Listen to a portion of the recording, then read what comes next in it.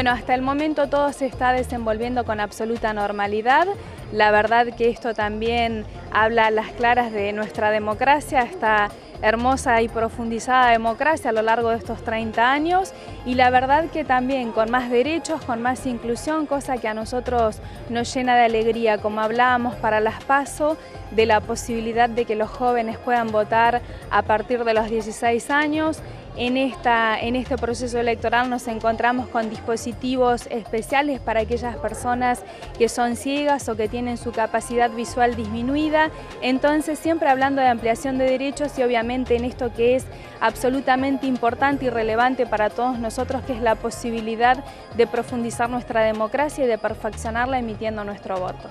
Inevitable en este 27 de octubre tener nuestro recuerdo para Néstor Kirchner, quien también ha hecho tanto eh, por la profundización de esta democracia y que obviamente ha marcado también un antes y un después en este país para todos nosotros, así que nuestro mejor recuerdo y nuestra mejor celebración en este Día de Participación Democrática.